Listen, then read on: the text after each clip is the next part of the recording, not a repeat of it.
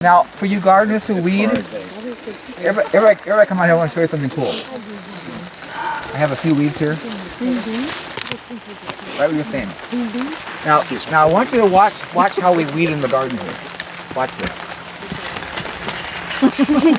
Hey, Is that cool?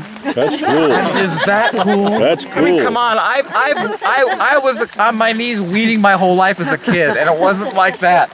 I'm just these are these are the kind of things that just blow. Look at that. Just take your look at it. All they're gone. History. All with the rake, and you don't have to bend over. Beautiful. I'm just telling you, man. This is the benefits just don't end. supposed to be hard though, Paul. Huh? It's supposed to be hard. No, it's not. he says, My yoke is easy, my burden is light. The hard came with the fall, the separation.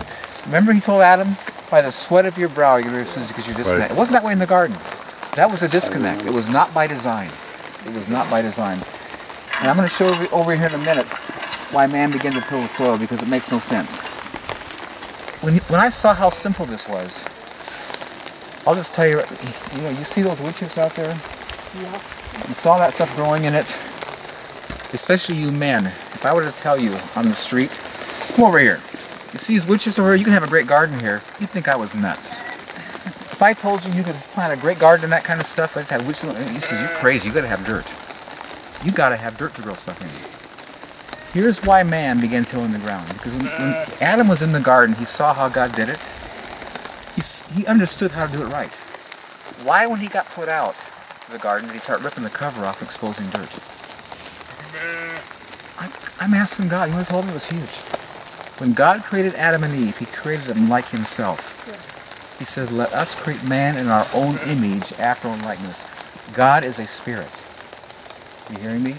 God created Adam and Eve as spirit beings. And as spirit beings, they related everything from the spirit realm. And that's why they weren't naked. Because the body was the clothing for the spirit. And they weren't naked. They were totally clothed. The body clothed the spirit.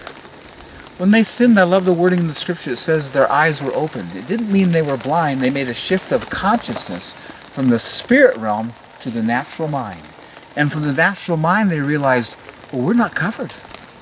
We're naked. We're exposed. So they got fig leaves to cover themselves. When man looks at the, at the covering in nature, from the natural mind, he says, well, you can't grow stuff in this. You've got to have dirt. And because he can't believe in faith in the spirit for what he can't see, he takes the covering off so he can see the dirt. He has to see it. I'm telling you, it's huge. It's huge. He has to see the dirt. So he takes the covering off and tills it so he can see the dirt because he can't believe for what he can't see. I tell you, you can grow a garden. No, no way. You got to have dirt because you can't believe for what you can't see. It's huge. It's like wow, mind blowing. Do you have a rule of thumb uh, as to how far you plant your rows apart? I used to plant them three feet apart, but you can see I'm having problems here. but you know what's so cool about God? I mean, you, you see my cilantro. This is September.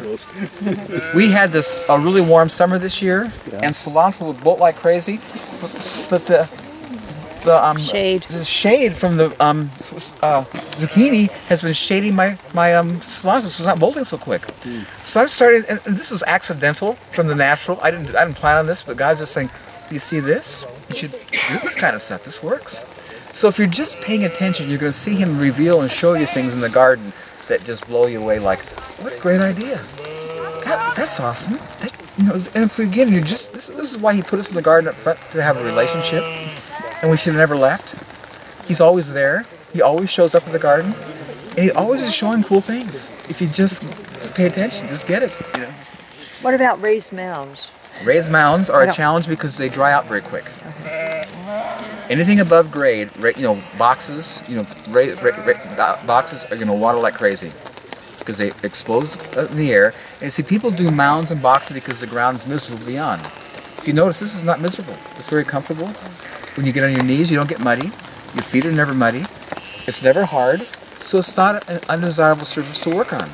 Or in a in, in a dirt so- soil, it's miserable. So you do raised beds to get off the dirt.